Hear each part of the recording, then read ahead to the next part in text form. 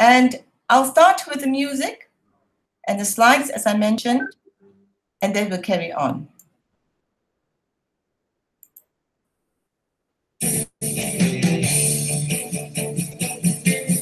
Oh,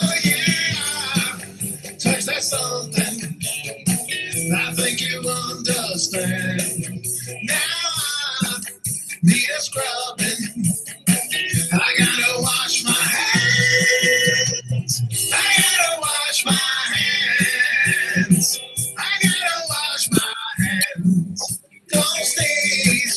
Next to me.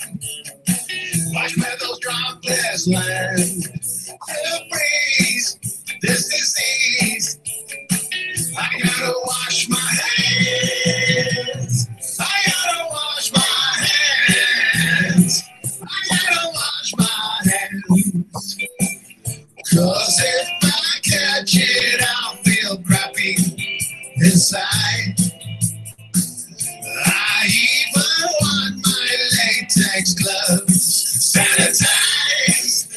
Yeah,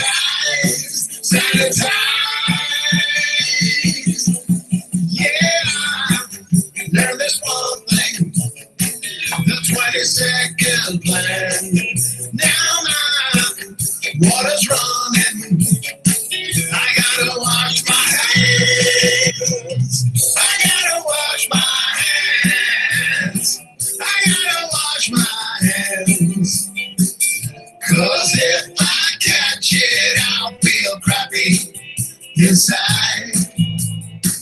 I even want my latex gloves. Sanitize, sanitize, sanitize. Yeah, touch that something. I think you understand. Now I need a scrubbing. I gotta wash my hands.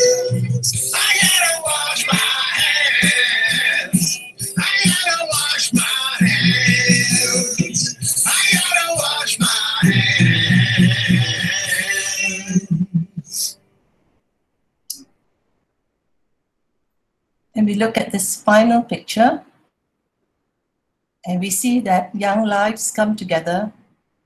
The future will be shaped by them. They are young people who have experienced this.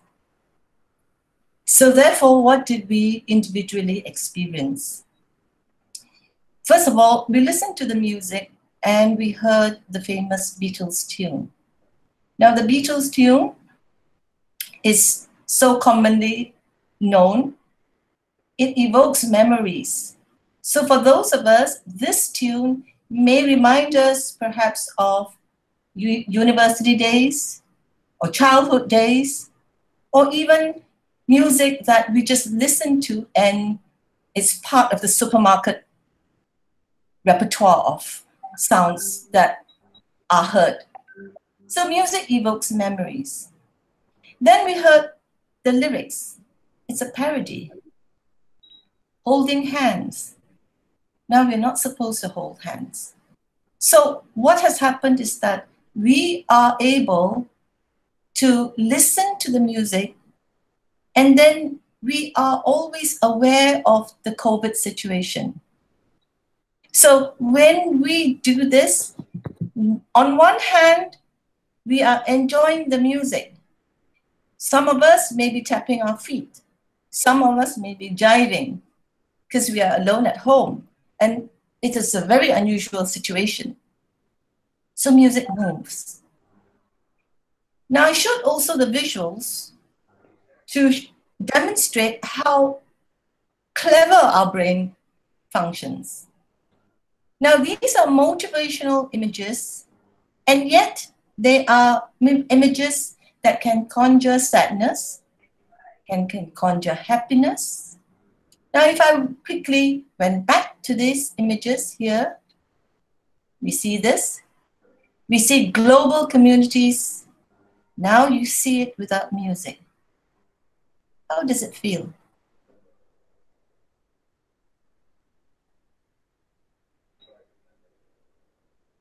Dry, yes?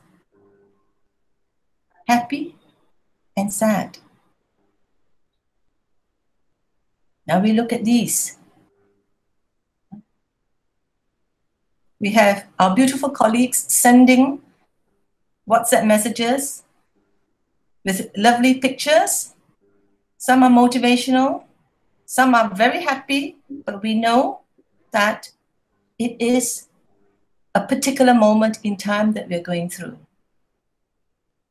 And this, we see a global rise of health issues every day.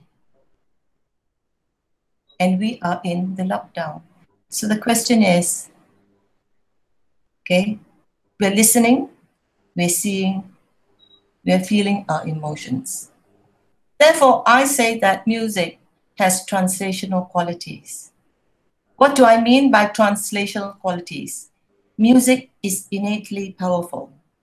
We need to know how to use it, and this is a very good time to apply this knowledge. So I go back to a few more slides where we stopped. So, how is music translational? This is a beautiful um,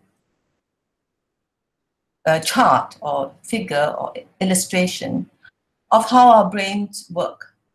It is from science and research, and we see that music works very closely with the brain because it works very closely with sound. And sound is part of our lives. So music is sound. Now, if we see music, how it affects the brain, this is the corpus callosum, and of course we know we have the right brain and the left brain. Now the motor cortex, cortex here involves movement. So for those of us who are tapping our feet, right, that has been triggered so that we tap our feet. Now together with the sensory cortex here, it controls tactile feedback. So when we are moving or dancing, these two areas are close. I've done research with children with autism, and sensory integration therapy is a very important part of uh, rehabilitation and therapy for these children, which is done by the occupational therapist. So they have problem in sensorial management, this part. Now, if you look at the prefrontal cortex, we are looking at behavior, expression, and decision making. We made decisions when we saw these pictures. We made decisions of which one we found funny and which ones we didn't find funny. But whether it was funny or not funny, the music helped us through. This part is involved with the emotional reactions to music here. All right. So therefore, how do we receive the music? There are different types of music. So the idea is to find the different types of music that suits the different needs.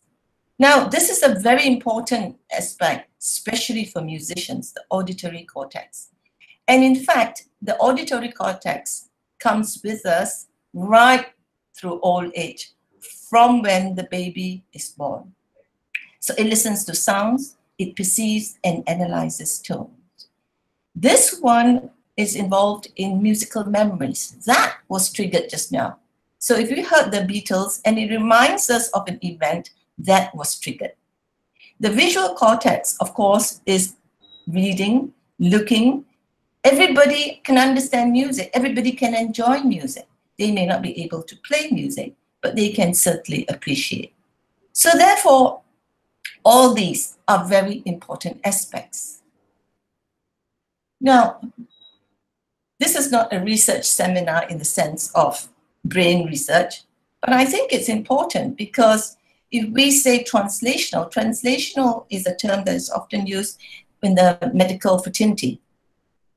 And it has been used much for interdisciplinary and transdisciplinary research. Now here, this is an example of a recent study where FRI fMRI scans. fMRI stands for functional magnetic resonance imaging. Very powerful scan. And it looks at the two arms of the research of Alzheimer's patients. One arm did not have music, one arm had music. What they did was they looked at the scan, and these are the parts of the brain that triggered. These are the parts of the brain of the Alzheimer uh, patients that were not affected by Alzheimer's, these particular parts, of course. And then you can see. So therefore, they found the visual network, salient network, executive network, cerebellar networks, all the different sections were activated much higher when music was heard. This is my favorite, and it's always been my favorite.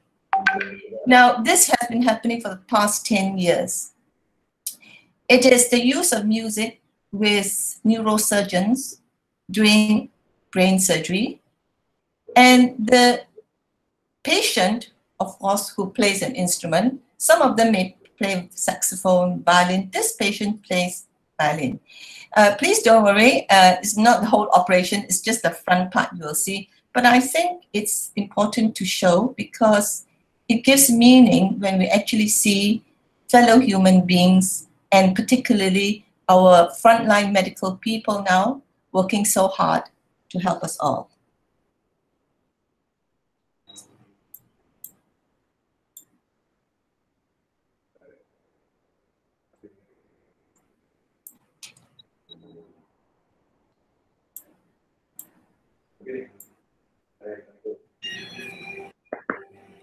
I think you can see it now.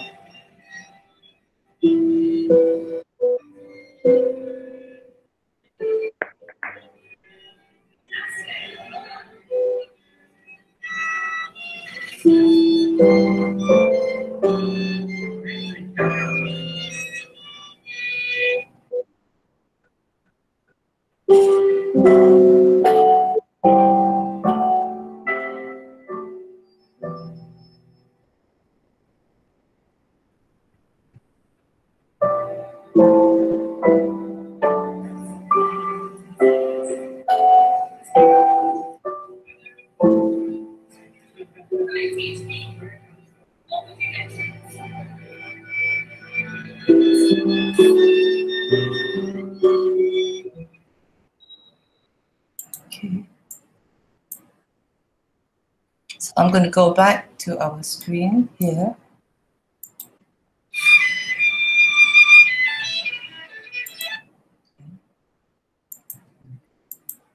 All right. So that was quite powerful, I think, because it shows in a live manner that when the patient plays the musical instrument, there are specific parts of the brain that are being engaged. And then the surgeons can actually take up the, hum- the tumor, 90% was taken out. And we can see that how this is real. This is actually happening. Now, I believe, if I'm not mistaken, this form of surgery is not done in our country yet. It is my greatest hope that if it's one day done, I shall be able to have the honor to be part of it. So therefore, we have the health impact of MCO lockdown. The question is, how do we use music to help us? In a way, this is a question that is so common that really it need not be answered.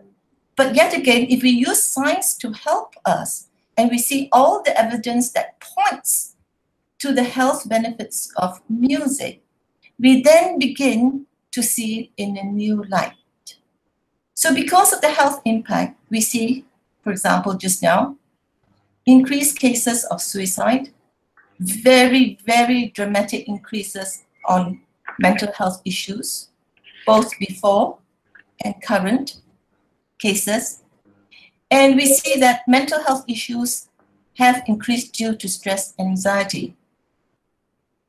I believe we academics are very lucky, so are students, and there are some people who are not so fortunate. So therefore, we can now see how music can go one step further. For me, I like to think about music as something that triggers a natural phenomena that happens in our bodies. Now, we know that music triggers emotions. That's clear. We feel happy, we feel sad. We know that musical memory is hardwired to our brain, our bodies, and our emotions. Just now, we experienced that. But perhaps what I'd like to say is that I'm very interested in DOC. Very interesting acronym, DOC. Very appropriate. Dopamine, opiates, and cortisols. Now, as we know, when we laugh, dopamine rises and we feel happy. Oh, I like that. I really like that. It made us happy. We get little pictures from our colleagues and momentarily we forget and we just laugh. That's very funny. In another situation, for example, if we saw a cat looking out of the window so forlorn, we would not be wondering, what is this cat doing here? But we know at the back of that, even pets experience lockdown. So now we are looking at dopamine, which is a mood enhancing chemical feasible for treatment for depression. Therefore, if we can identify what kind of music releases dopamine for us as individual selves, we are beginning to find some form of secret recipe. Now, we also know that music triggers the release of opioids in the brain. Opioids are natural pain relievers. So, when we have pain, we have stress. And stress is measured by cortisol levels. So, therefore, if we can have this trinity of dopamine, increased dopamine, we have increased natural pain relievers, our stress level will come down. Okay, so this is part also of the study that I work with my dear colleagues at the Faculty of Medicine, UITM Medical Specialist Center. And at the moment, we are doing a particular study. It's a two-year clinical study, um, and it's called the efficacy of post-operative physiotherapy that incorporates bespoke music and narration to improve healthcare related outcomes. And therefore, cardiac surgery patients, and it's a randomized clinical trial with two arms. One group having the standard care, another group standard care plus bespoke music and narration. So this is a bigger project, and the team members in this study are Dr. Abid, he's the head of cardiac surgery, uh, at the UITM Medical Specialist Center, myself, Dr. Rodi, and Dr. Mazlifa. So as far as the music is concerned, we can see what I've done here is actually look at the analysis. Tak nampak slide? Ah, right. Ah, ah. Huh? Click, click, so, click on the slide. Nampak tak? Ah, no, not yet. Kena buat present now Ah, have balik. to present now again. Okay ke? Tak Ah. nampak? Ah, not yet, doctor. Dr. Wah. Vel. Dah lama tak nampak? Ah, just now. Oh, ni just now. Ah, oh yeah. Nampak tak? Ah, not yet. I think you have to start back again. Maybe too long, huh? No, it's okay. It's just that Present ni. ah, just click at present now. Kan tak nak? Ah, no, not yet. Macam? Maybe I escape. Ah, and present back. Yeah. How's that? Can you Not see now? yet, Dr. Vel. Hmm. I wonder why. Not yet?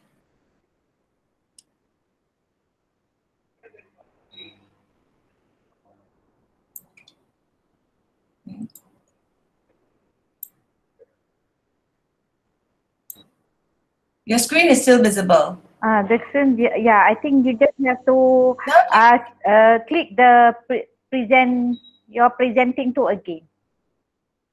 Okay. Resume presentation. Ah, all right. Okay. Thank Allah, you know, Ah. sorry, I can't see what's happening the other side. Okay. Yeah, it's I okay. will go back Yes, to all right. this. Okay. All right? Yes. Be Clear? You can speak like this. Okay, so we continue. I was talking about this particular study. Now you can see this, yeah? So the analysis is using Raven Pro. This is the music that I compose. I'm a composer. And also it has the words that are uh, narrated. Now these words are uh, part of what the physiotherapists do. So it is not done as a totally creative work. It is part of physiotherapy. It is what they do. So I think what I'll do is I'll carry on and later if we have time, if you've got time, you can always contact me. You can always have a listen.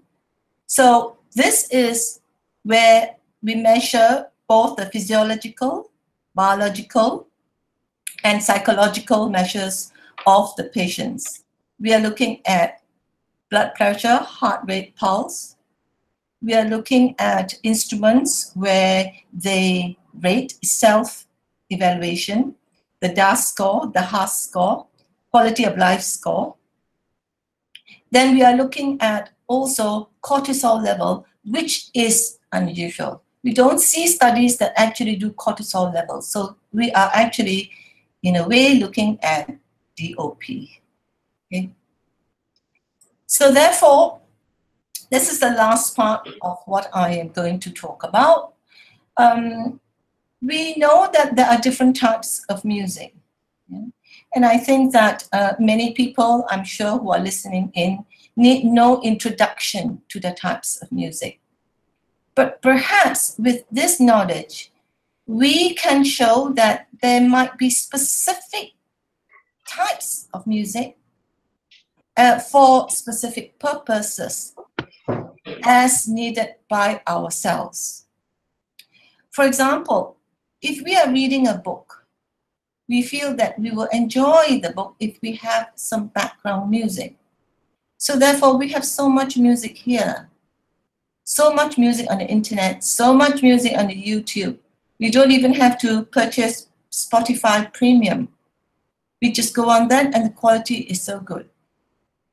And when we pick, we are working at home now, which is a very unusual situation. This is a very unusual situation to get up and then be at work and talk to a screen. But it's not really talking to a screen because I know behind the screen there are people listening. It obviously is used for research, which I've just explained. I've done quite a number of research with music and health and music and medicine for the past 10 years. So it has been a highly rewarding uh, experience for me, not doable without my good colleagues at the Faculty of Health Sciences, Faculty of Medicine, Faculty of Engineering, and of course my own faculty, the Faculty of Music. Now we can find music that is good for sleeping. Now sometimes people will look at an uh, YouTube say music for sleeping, so they click on and try and sleep. That's not music for sleeping for us. Music for sleeping is to trick our brain. That means we may not be we may not be looking at music that other people can sleep with. In other words, some people cannot have words when they're trying to sleep.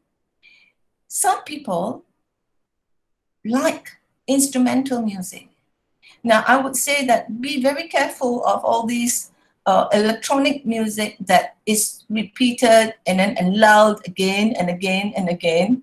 Yeah, you would need to look at this because, as you know, we have different brain waves and it affects uh, our uh, the, how our brain works in different times of our sleep patterns. So we can look for music that helps us get to sleep, or we can even listen to music that we don't want to sleep. I'm just listening to you, and in not trying to sleep, we fall asleep. We can have music as a background. So therefore, we can try new experiences. We can certainly widen the selection. That means we listen to this and, ah, okay, I'm going to save this and I'm going to put this save favorite and I'm going to enlarge my repertoire. So the repertoire can be from different genres. Now, most of us will have our favorite genre.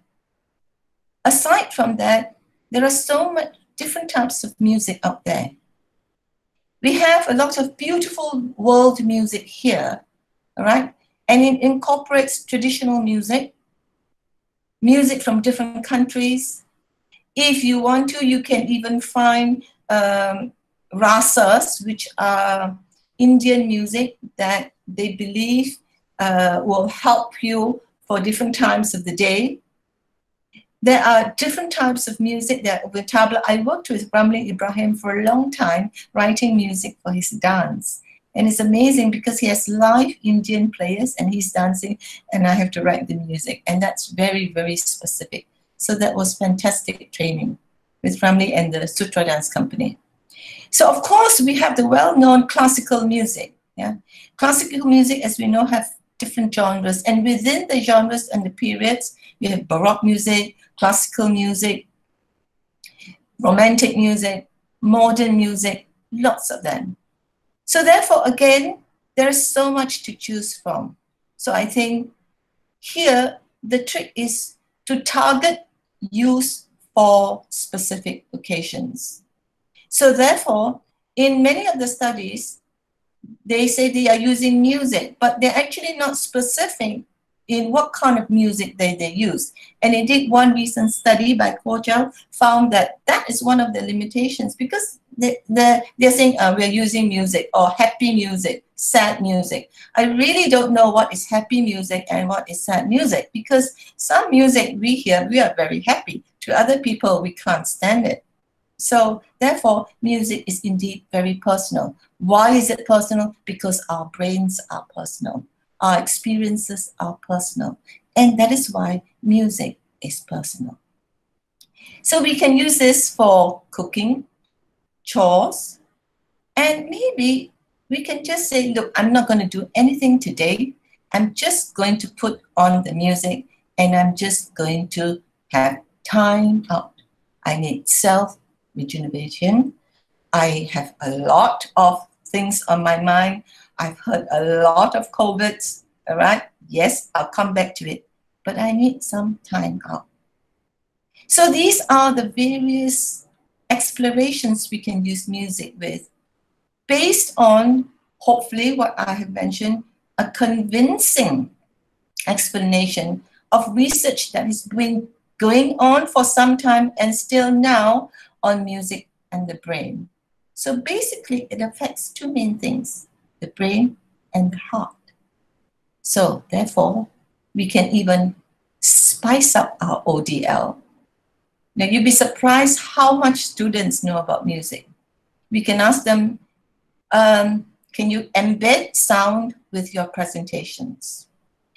Could you look at, look for those who are teaching maths and arithmetic?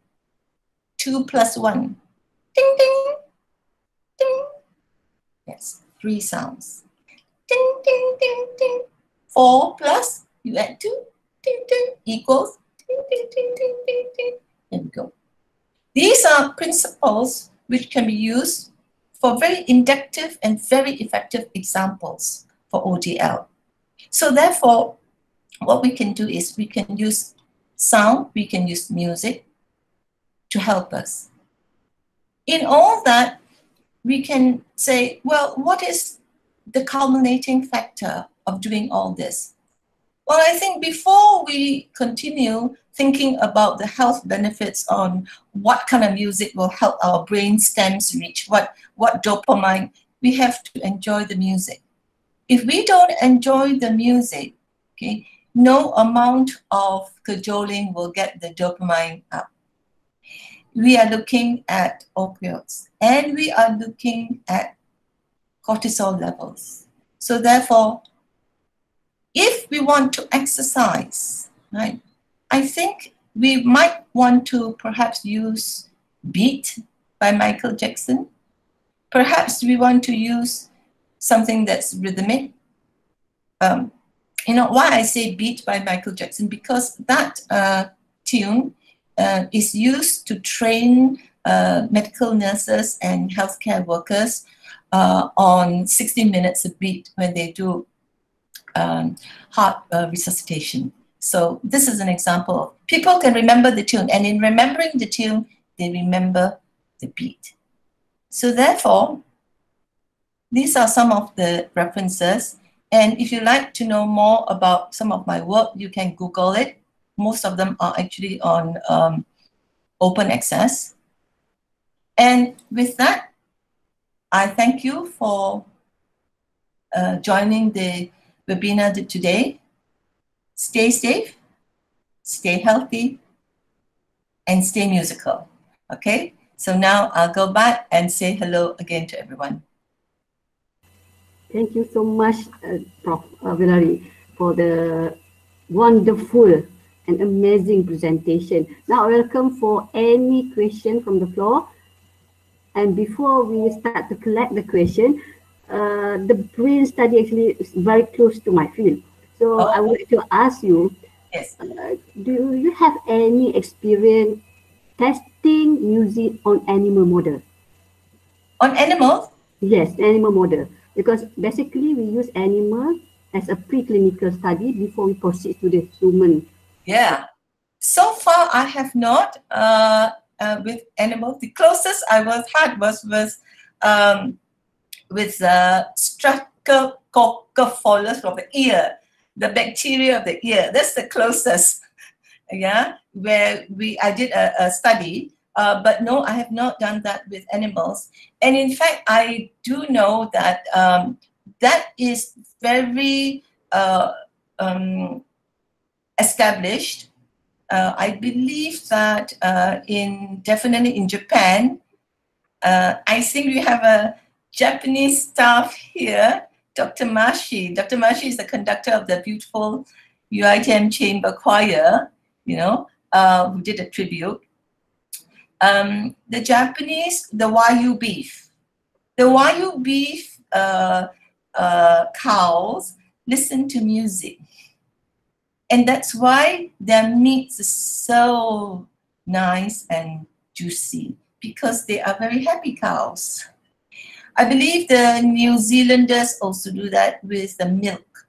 So um, to answer your question is no, I haven't, but it will be wonderful to to um, let them uh, experience that. Especially, I believe in farms uh, because uh, happy animals are um, uh, yield, you know, uh, happy. We may help our country to boost up the production. Yes, absolutely. Yes, yes. So we have a few questions uh, in the chat room. You may refer to the chat room. We have few Okay. questions now.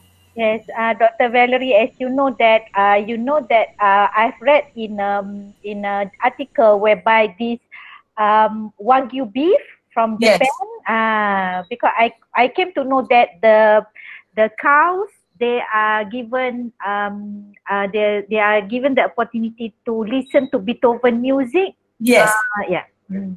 Yes. Um, so um, what uh, I think is not only that, uh, there's also a study where before they are led to slaughter, Yeah. uh, they are led through music. Amazing. So they, you know, they, they just go there and they, they're not stressed. Their cortisol levels are not up, Ah, you know. So Yeah. To share uh, my some of my experience in veterinary medicine. yes, uh, when you reduce the stress of the animal, actually you can help to produce a good or a quality meat. yes, yeah. This is how uh, maybe another approach that we can help the veterinary. Yes. absolutely. Now, what I would like to add uh, is uh, my specialist area is that uh, many uh, researchers just pick music, you know, and they, they their brains like Beethoven, so they think cows like Beethoven. Now, fortunately for me, uh, I or unfortunately for me, I can't ask the cows what they like. But what we can do is I write music. So therefore, I write music for humans. Most people start with animals and go to humans. So I go to humans. So the difference is that I would actually compose music. compose music for the cows, compose music for the animals, because animals are very sensitive. Yeah. you know so i think that um, it will be i could imagine if they were animals standing there all day or sitting there all day and doing nothing. If they heard music i think they would like it now the difference is that we have to find music that actually suits them. So maybe beethoven may not be suitable. Mhm. maybe tabla might be suitable. Who knows? So that would be a great uh, study to do. To do, yeah. yeah, and then what we can do is we can see very easily done one group of control animals who are not listening to, not experiencing music, another group of animals that they experience music, and you can see the difference in output. Yes, very, very doable, but it has to be. Uh, that's what I believe. Uh, it has to be music that's created for them, and then what I do is I analyze the music. That means there is a technique in doing that. It's not just picking. Now, the other reason for that is that if we pick a particular piece of music, for instance, if we pick, as you mentioned, Beethoven, now that piece has ups and downs. It's got different tempos, it's got different instruments coming in and out. So, therefore, it does not have a parity of qualities. So, we are looking at the variables. We are looking at what variables are best suited for them. So therefore, you cannot have, for instance, I do not like listening uh, to classical music when I'm driving the car because uh, it becomes soft and becomes loud, and I get quite agitated because I'm trying to listen to that and I'm trying to concentrate. So certain types of music have you have to have uh, it purposefully created. So that's why I call it bespoke music. Yeah. Okay, Dr. Valerie, there are a few questions in the chat room. Yes, I Uh, must start answering them. Where yes. should I start? Ah, From the from uh, there's uh, start from Dr. Nodiana. ah, Dr. Nodiana. Okay. From uh, Ah, no, for Indonesia. We have one question from I saw from Dr. Aisyah Dr. Bujang. Aisha Bujang. Yes, we start from Ah. Dr. Aisyah Bujang. Ah, Dr. Aisha Bujang, what is your opinion on brainwave entertainment? I I, I think. Ah brainwave. Yes, uh, very interesting. I did a study with uh, uh, members of uh, Prof. Nolita uh, um, with brainwave. Now, brainwave. Did you say brainwave on entertainment? Yeah, I think it's entertainment, brainwave entertainment. I hope Dr. Aisha is here so that she Now, can. Yes. Yeah, Brainwave all right. brainwaves is another particular area that has a lot of research because we are looking at different frequencies and we know our brain waves at sleep time at awake time and even even the deep sleep data uh, uh, uh, beta levels are all different. So i would say this um, um, we have to look at this uh, with I won't say pinch of salt, but for entertainment, you know, I'm a bit scared of the word when I hear entertainment. because Uh, it's, it's entrainment. entrainment, okay, sorry. Ah, yeah, all right. Okay. Yes, yes, yes. Oh, I have an article on entrainment. Please read it. Please read it. Uh, uh, musical entrainment. And you can Google me and Google Scholar. And uh, it's an article I did on, uh, it's part of a, uh, uh, part of a chapter in a book, right? By, it's an outcome conference. Yeah, yes, musical entrainment. Entrainment is very interesting. They, um, um, I think that one has to be very careful because there are certain beats that you can underlie. I started putting these very tiny, tiny uh, uh, beats underneath the music, but it may be a little bit tricky because, as what I call um, serious scientists uh, working with medical and health and from a university, we cannot simply just say, oh, yes, this is very good for your brains, and here we go. So there's always the uh, caution there. And that's one of the reasons why you see lots and lots of music uh, and brainwave music out there. Uh, the question is, To a lot of people, if it does not do harm, well and good. But sometimes we don't know what it does to our brains. So the answer to that, I would say, is to tread with caution.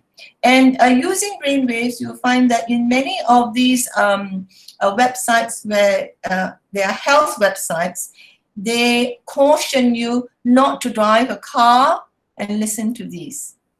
So the very fact that there's a caution, you know, and the other reason is why just go for these uh, waves, put music above it. So I think it might help.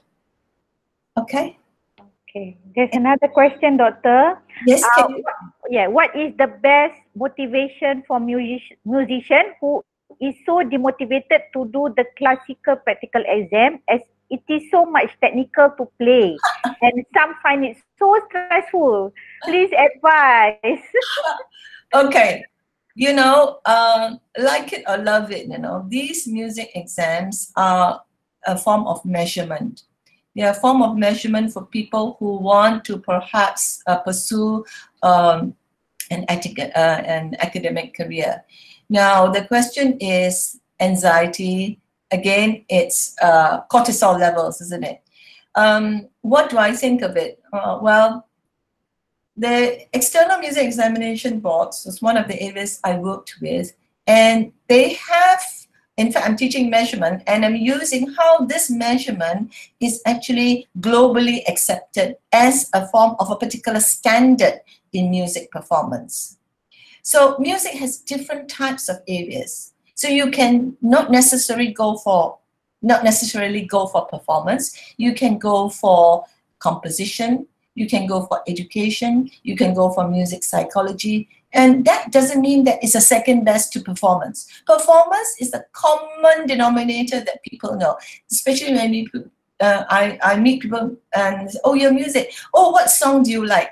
And I'm sort okay, what song do I like, you know? And I'm thinking, okay, how do I answer this? And this is moment of silence. And sometimes I get this stares and says, is she really qualified? What song do you like? so my answer to that is, I suppose it is part and parcel.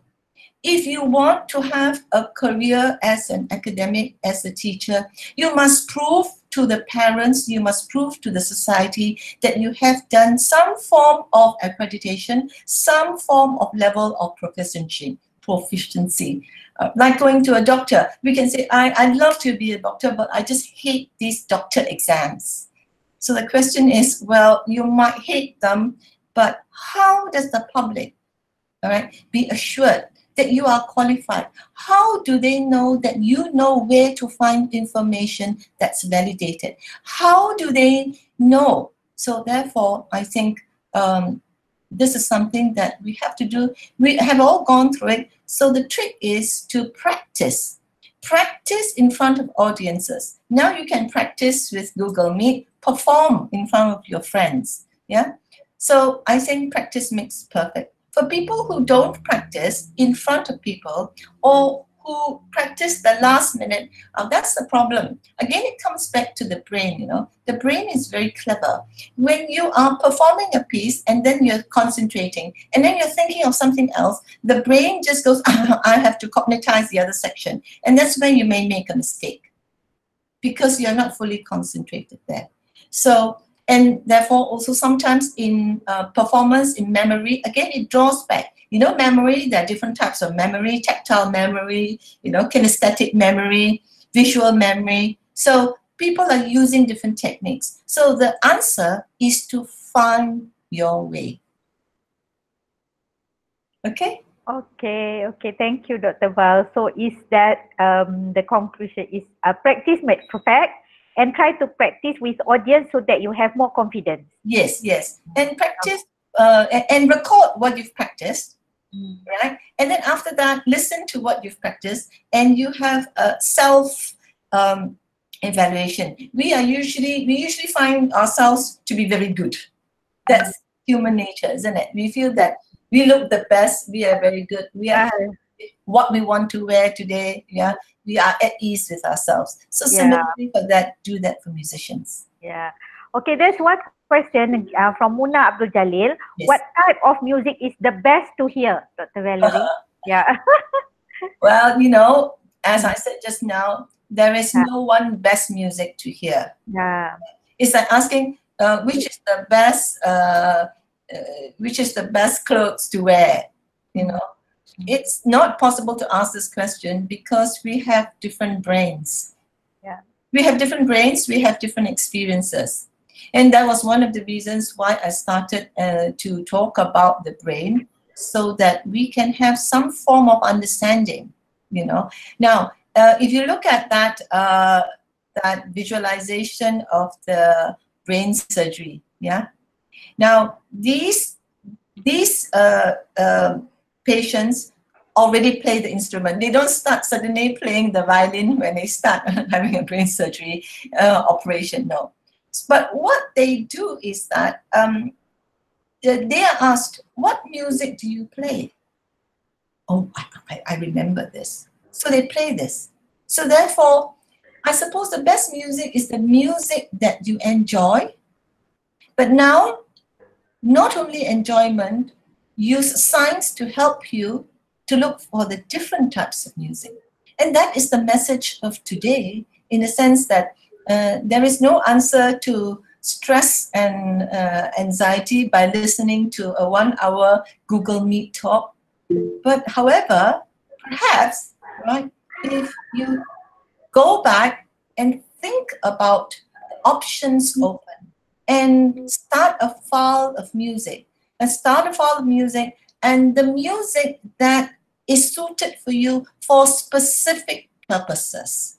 I hope that would be a starting point that is useful Yeah, yeah. Yeah, I remember that uh, you mentioned about uh, the music is very personal because our brain is personal and our experience also personal. Yes. So maybe some people will prefer to certain types of music compared to the others, even though in the same situation.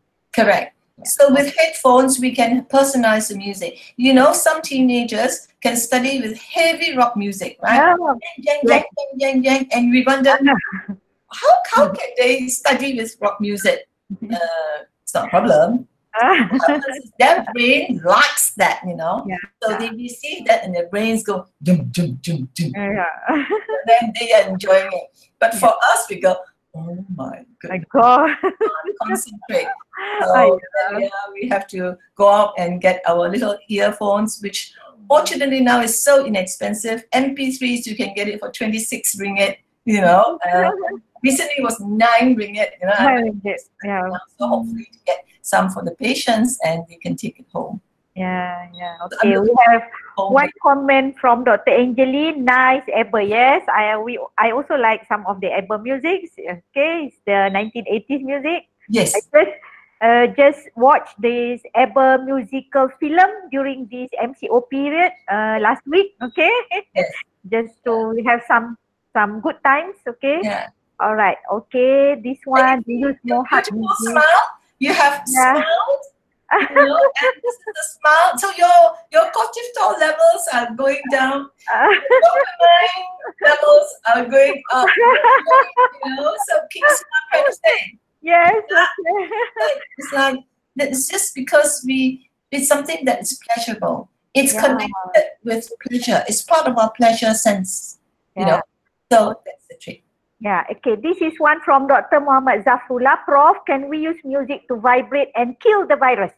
Ah, this is interesting. Oh, oh, what a very good question. You know, yeah, very uh, MIT has just recently come up with a piece of research, and what they've done is they've put uh, the coronavirus and they have spikes to it. Okay, you can Google it. Actually, I have it with me. I was like thinking, do I have time? And I was a bit worried that it might it might run, but you can. It's called a, uh sonification, right?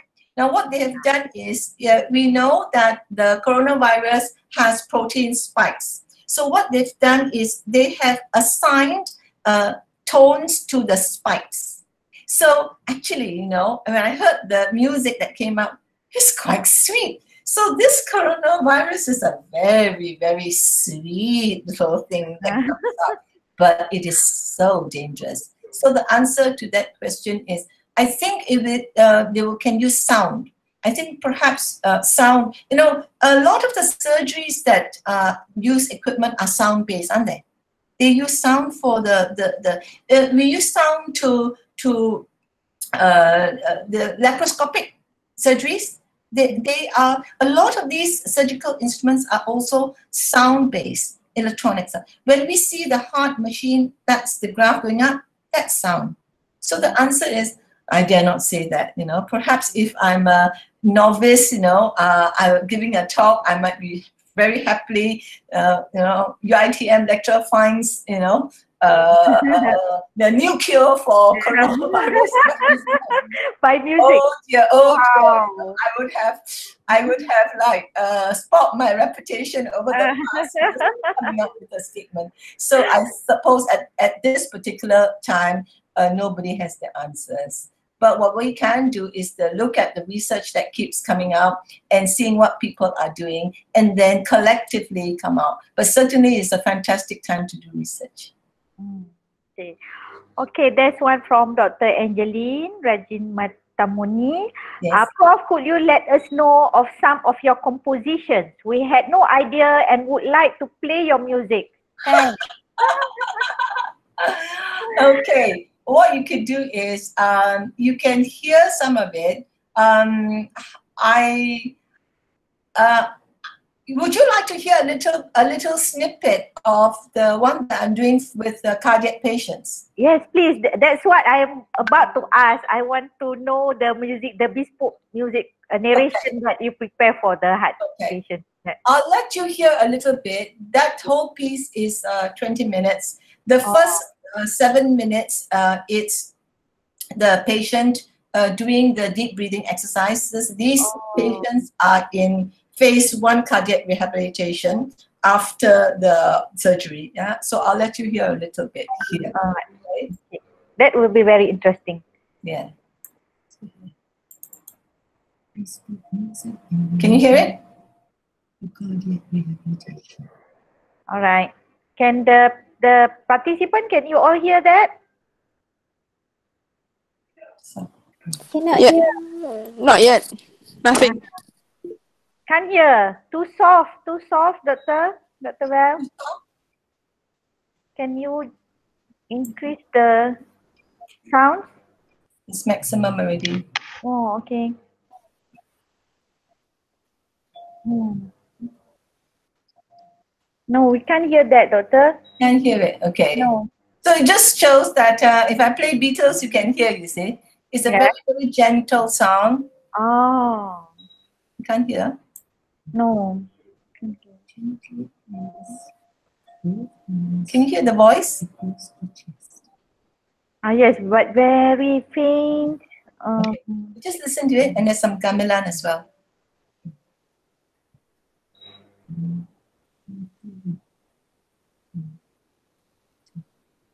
no, we can't hear yet that, Dr. Val. It's very faint. And Very faint. Yeah. faint. Okay. So um, this is one project uh, we're doing is uh, to create this. You know the bespoke music uh, narration and sound bank. It is a sound bank that is now being created, which has this. So it will be given to uh, uh, uh, to UITM to patients. So you can have a, a, a here on this. Yeah. So at the moment, I'm also doing work with progressive muscle relaxation. Uh, so these are all based on theories, and another one is on guided imagery. So the idea is that there are different types of music for different phases of rehabilitation.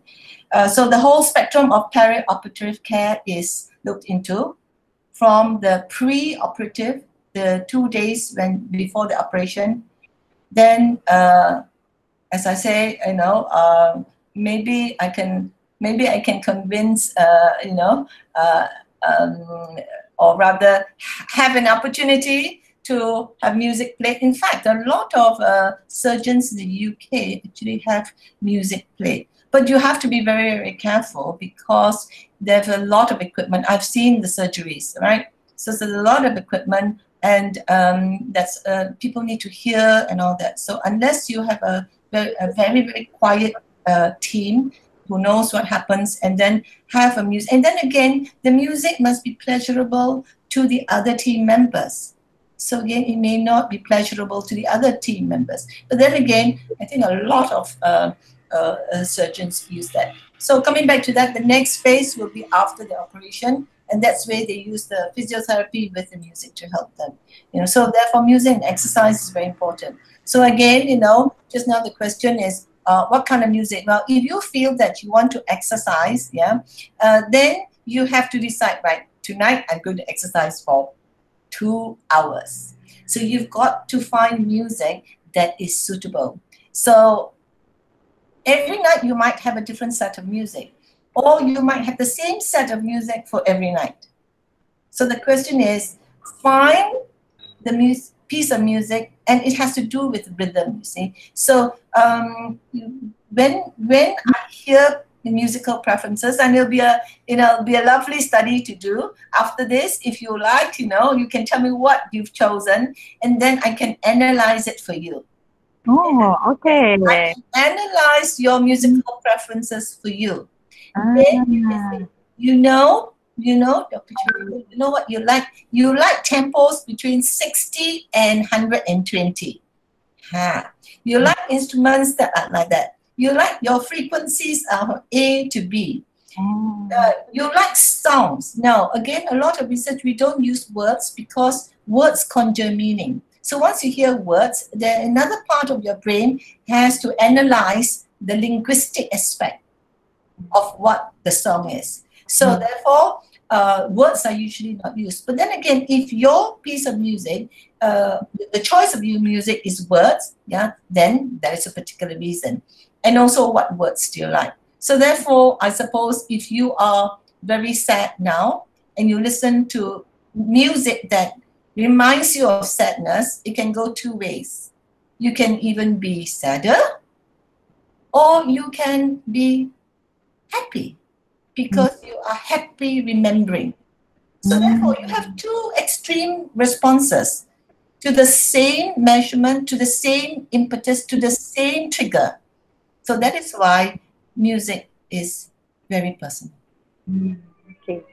All right. Okay. So there is one um, note note from Dr. KM. It was Mozart. Oh, this is something to do with the Kobe beef, isn't it, Dr. KM? If you are still around in this Yes. webinar, yeah. Okay, it was Mozart. It's not Beethoven, yeah.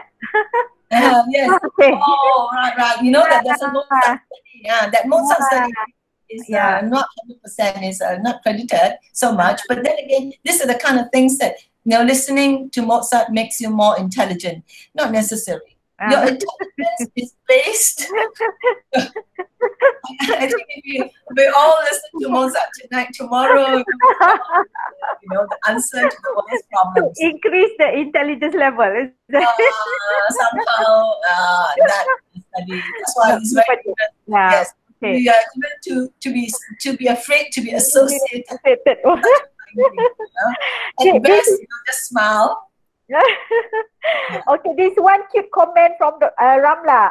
I have a sugar gilder before as my pet. He loves music and he will shaking his head when listening to me playing my violin.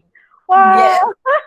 Yes, you know, animals are so sensitive, right? Yes, yeah. We see a lot of animal pictures now, isn't it? We see Yeah. we, the, yesterday I saw a cat going to a shelf, you know, it's a stray cat, you know, going to a particular frisky, you know, potential lady, I want that one, I want that one, and the lady adopted. Yes. Okay, so there's uh, one another question from Franelia. The Yeah. research that you are doing is interesting. May I know why is that your target are the cardiac surgery patients? Oh, okay. Uh, I think it's because uh, I'm working with uh, surgeons. I'm working with patients. You need to have for these kind of clinical studies. You it is a very uh, very complex. You need uh, strong ethics approval. So uh, and if you want to do something like that, you know, we have been asked, you know, you should really publish in high index journals. Okay, high index journal means high quality data. Uh, uh, so therefore, uh, we need this kind of, and also that uh, very interestingly is basically is the passion. Uh, when you see music, you can You can see music studies in psychology journals. You can see music studies in cardiac journals. You can see music uh, in uh, innovation journals. You can see music in interdisciplinary journals. So the answer is really it's not about journals. It's about the passion. Passion. Passion when I see people using music and they use this generic term music. To me, it's like, okay, what is it? So Ah. I think that uh, so to find a niche, yeah, and I think cardiac patients because you know cardiac surgery, uh, it's one of the uh, cardiac diseases is one of the highest in the world, if not the highest, and, and many of them are uh, elderly people. Some are younger, in which case the bespoke music has also uh, once uh, the words are in Bahasa, which I love it Yeah. because these patients, when they go back, you ask them to exercise. Sometimes they go to the internet, there's no such materials in that language that helps them. There are lots of different things, but you know, when they practice it in the rehabilitation uh, uh, uh, outpatient after the surgery, there's a certain process of doing that. So when they go home, you know, it is my, it is, it's so pleasurable. It's you feel like you are doing something good. You know, when you give them this MP3 and go back and listen and you go, yes, Uh. yes. and it's in, inexpensive. It is pleasurable and it helps the patient. So uh, the passion is in in the ability to do research, the ability to uh, meet so many uh, uh, of my uh, colleagues, and then you know, like having this session is is wonderful. You know? So thank you for the invitation. Okay. Uh, we have uh, two more questions. One is how ethnic affects the user community, for example, agricultural community, coastal community, migrant community. Uh, from Siti Asija. What uh, the communities? How different communities can use music? Is that the question? Uh, I hope that Siti As- Asija is. Are you here together with us? Yeah, are you still here? Can you uh, explain further your question? Siti Asija? Oh, Siti Yeah. Asija not. Mm. Hello, Siti Asija, are you still with us? Can you explain further your question? Oh. No, she's not. Oh no, she's not, Dr. Val. Okay, Ah, so uh, I'm uh, I'll I'll try and answer in terms of communities. Yeah, different communities have different needs. Yeah, and sometimes you know when you tell them, "Oh, I'm thinking about my next meal," don't tell me about music. you know, uh, they feel music. That's the last thing on my mind. But at the same time, you'll find that they're opening their handphones Yeah. they're opening their handphones and and they're listening to it. So the question is, yes, I people now with the mobile phones have a choice. But I must say, some of the quality of the mobile phone music is not very good. So just do be very careful, and because you're not hearing the best quality of sound, it is very important to get good sound. So definitely, when you, uh, you uh, one is listening to it, uh, you have to listen with a, a, a good set of earphones, you know. But then again, be sure that the volume is not too high, yeah. But the quality of the sound is good. So therefore, you demand good quality. If you have high standards and the quality is not good, train your brain to say, eh, I don't want it, switch it off. So train the brain to be very high quality recipient uh, of uh, sonic food. when it hears the music, it says, yes, that's good quality music. Uh, there are different types of music, different forms of music, as I mentioned. So I think it reaches out to different communities. I don't think uh, uh, music is for the rich or the poor.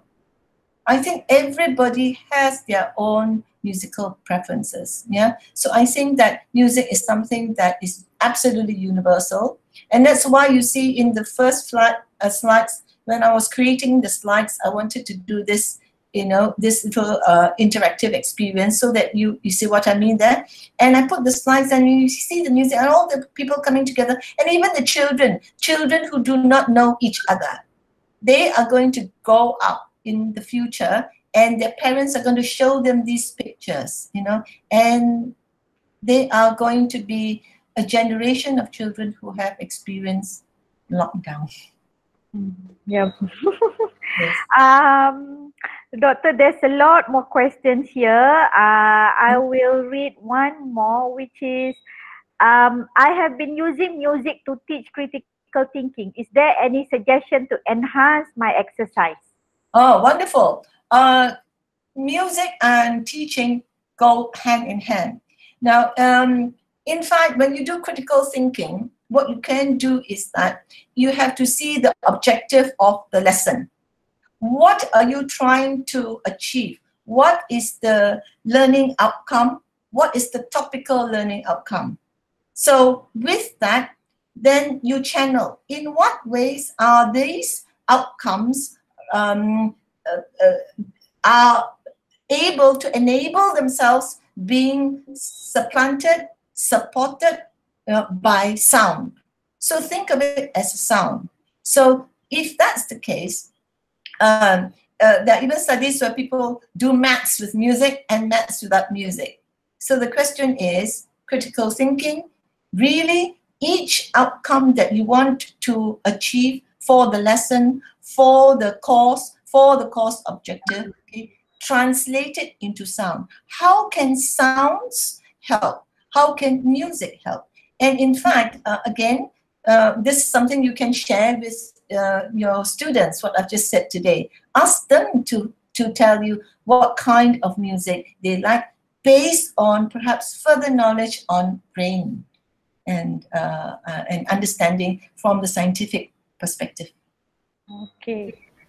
So, um, can how, mm, Dr. Diana, do you have anything else, or should we have one more question? Dr. Val? Yes, yes, yes, please. Okay. I can answer. ah, there, there's a lot of questions. Very And good questions. Very okay good because uh, if people want to carry on, I can carry on. I know some Ah. people have classes. Feel Ah. free to leave. You know, uh, you know, if you if you find this useful, uh, I will answer all the questions and I'll try to be fast Okay. and answer in like two. All three right. Okay, so we go to this. Yes, uh, what uh, what's question? Dear Valerie, an an extension to the brainwave entrainment topic Yes. using binaural audio at any value to it. Okay. Binaural beats uh, have been now used, and you can even see a binaural beat instrument, you know, um, for entrainment. Again, uh, that's used in brainwave studies. Um, it has uh, it has pros and cons. It depends on how one wants to use them. As I mentioned, uh, when I was doing this, I used binaural beats under some gamelan, uh, some gamelan music. I tried it, and uh, the, the the level of recording must be very low. So usually my recordings are done in professional recording studios. Okay, and they cannot be done uh, with the the the, the although uh, home recording facilities are very good, especially when you work with binaural beats. Yeah. Uh, yes, that's a again there's a big area. There are even binaural beats uh, where people purchase yeah to help them go to sleep because of the beat of the frequency yeah so uh, again i say that uh, take everything with a pinch of salt you know for us it's difficult to to validate anything unless we have done a, a, a pretty chic study and that has been published you know in a reputable jour- journal. Then only we can say according to our little sample. Because the thing with music is that you have to look at the sample that you're working with so you can say it's alzheimer's you can say it's dementia it's cardiac you can say it's autism every every illness is different so as our brains are different the usage for it would be different Okay. Okay, that's one. This is one question from our participant. Uh, I think from Indonesia. oh hello Uh, hello, uh, Lang Lang Handiani. Uh, Dr. Valerie, do you have any research or information related to the role of music to reasoning analytically, particularly for children? Hmm. Hello. Hi. Hello, Dr. that- Fari. Ah, we have three Hello. participants from Indonesia. Hello. Hello. Hi. Welcome again. Hi. Hi. Salam. Um, I think, but uh, I did. I have not done studies with children. The only ones I've done is with uh, children with autism. Um, uh, and as I mentioned, you can Google Scholar Me, and then uh, you will see uh, my name will come out, and the papers will come out. You can see what I've done there that are published. So, um, uh, in terms of children, well, because for music, we are music educators. We also teach children uh, you know, uh, music is very important because when we talk about measurement, you know, when we talk about Bloom's taxonomy, we talk about the highest level is creativity. Actually, the child starts with creativity. So if you look at curriculum, I, I teach curriculum, and if you look at the curriculum, international curriculum, let's say the UK curriculum, the Australian curriculum, they start with creativity at the youngest level. Uh, stand, uh, uh, they have key stage one, key stage two, key stage three. They start with music composition. So creativity is part and parcel of it. So I think that um, um, to answer your question is, I think music has a big role to play. Yeah, and music helps because if you look at the the parameters, we are looking at uh, cognitive, we are looking at affective, and we are looking at psychomotor. Isn't music the epitome of all three? Yeah, they they they cognitize. They look at the score, and they are reading the score. So their their literacy cognition is being called upon. Then what they have to do is that they have to play the instrument. Even if they sing, they have to use their voice. If they play an instrument, they have to use their violin. They have to use their trombone. There, there are techniques for each instrument. So there you are talking about a recall of the uh, the, the the the physical domain. Yeah, and of course, music is effective. How do they interpret the physicality, right, and the playing to come up with a beautiful sound, right? And that comes, you say, from the heart, isn't it? When you have a lovely tune and you say, oh, that is so nice. That so nice is the emotive aspect. That's a psychological aspect. So I would advocate, right, that uh, critical thinking, maybe the children in the class can do music. You know, sometimes people misunderstand and they think, oh, music is very expensive. They have to go to a school, they have to pay monthly fees. I have to go down. This is lockdown. I can't make music. No, you can't. You know, don't have to nowadays. There's so much YouTube music. They can pick up the guitar, they can pick up the ukulele, they can even take the two chopsticks and start drumming. So the answer is creativity. Yeah. So I think that there are no limits now. All right. Okay. Dr. Lama. All right. Okay, thank you very much, Dr. Ferrari. Yeah. Bye. okay, there's uh, one comment from Dr. Muhammad Shuhadi. Been Yes. listening to a, to a lot of new music on YouTube Music to keep myself sane, working from home. yes, yes, yes. Now, Thank now, God for music. yes. So now, all right, I will be gathering data, you know, for people who have uh, uh, who have participated, and I've got no, quite a lot of people participated. So maybe I will. I'll, I'll, I'll, I'll, write out a, a, a, a quick little questionnaire. I, I did that once with uh, uh, for the uh, patients, not patients, healthcare workers. They were in the one day uh, one day workshop training at uh, UITM Medical uh, Center. And I thought, whoa, this is a wonderful experience to let them hear my music for progressive muscle relaxation. Actually, they sat down and 20, 20 minutes and followed by 10 minutes, so half an hour they did that. And they experienced this. And I said, okay, now I have to be brave. I'm going to ask them to fill in this, this short questionnaire of how they felt about the music all ready to say, mm, but I was pleasantly surprised that they were very positive about it. Yeah, all right. This Okay. is an example where um, you know small little steps like that can be very meaningful. It not not necessarily be a huge big study, but you know participants uh, themselves you know are fantastic people to give feedback. Yeah, okay.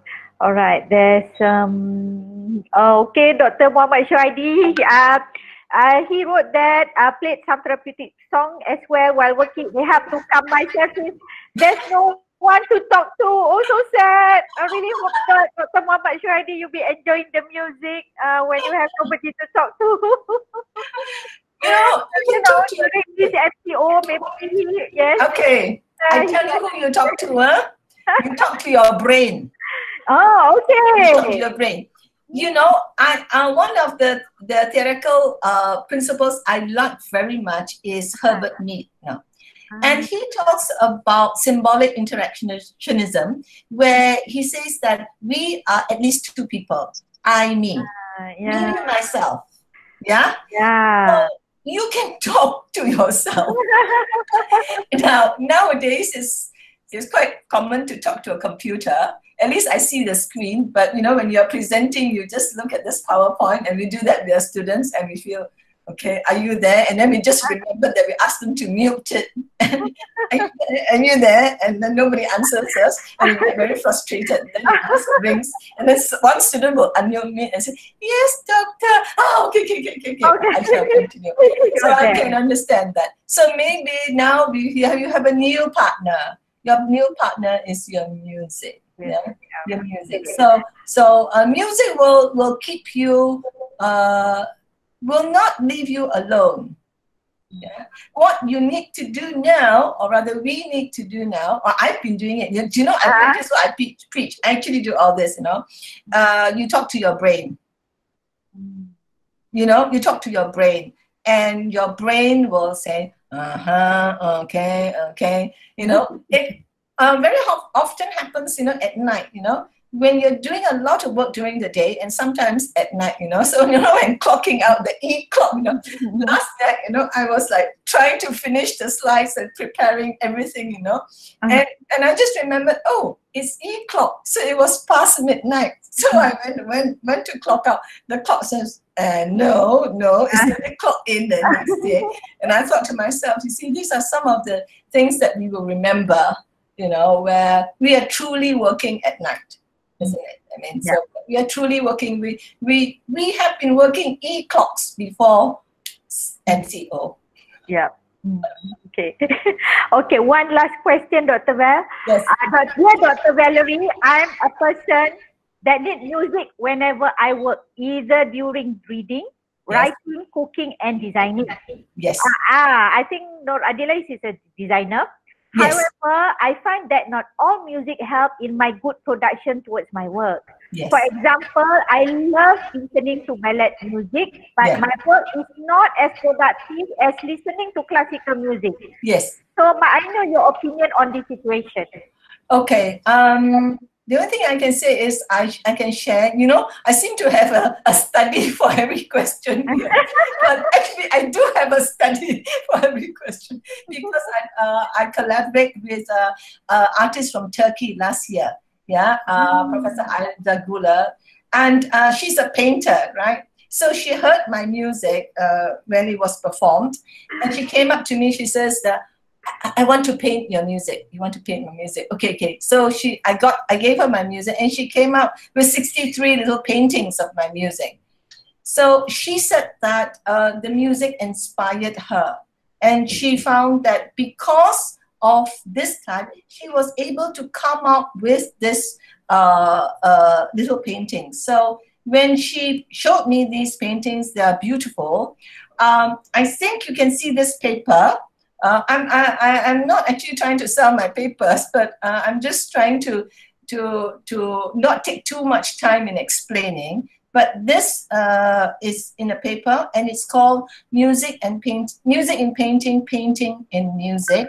And if you Google that, uh, it's Idealogy Journal. Yeah, and that particular uh, work uh, won the Diamond Award as well. So, and it's in the journal. So I think that again, these awards for me, they are just validation. You know, validation that people say, oh yeah, this is a good piece of study because uh, there was a panel evaluating all that. So in that sense, uh, I hope it answers your question. Yes, you're right. Not everything will suit. And that's exactly what I mentioned again just now. So you need to now diversify your portfolio of, of music. Music. Yes, yes. So we began with cows needing some music from me. Okay, cool. Okay, I'm on. Cows, I'm on. Painting, yes, yes, I'm on painting. So uh, viruses, uh, I don't know. That's too hot. Corona is too hot. Corona is too hot. You know? I let the big guns do the work first. Okay. Okay, uh, this one uh, from Prof. Toto Sumaryanto from UNES Semarang, Indonesia. Dr. Okay. Valerie. Hello, Prof. Hello, Hello. Prof. Sumaryanto. Are you around? Are you here? So there's one question from Prof. Toto Sumaryanto. How to conduct music hearing to make happiness in work from home now? Ah, take my slide. my slide is available to everybody. Yes. All right. Have a look at it. Uh, you can contact me at vross at uitm.edu. Very easy to remember. V R O S S At ITM. edu.my. Yeah. You can email me. Yeah. And uh, and if you want to Google meet me, no problem. Happy to. I am the, the, the advocate for music, you know. Music has enriched our lives so much, and uh, there are so many of us at the Faculty of Music. People say, How come you're all smiling? And because we have the dot technique. we have the dopamine technique, yeah. Um, perhaps it's because we studied music and uh, it has given a lot of us a lot of pleasure. And because we've done that many years, maybe our brains automatically know how to do this. But for other people, it might be something that they have is a learned kind of uh, activity. And then with that learned activity, it can be applied to their work, to their play. Right.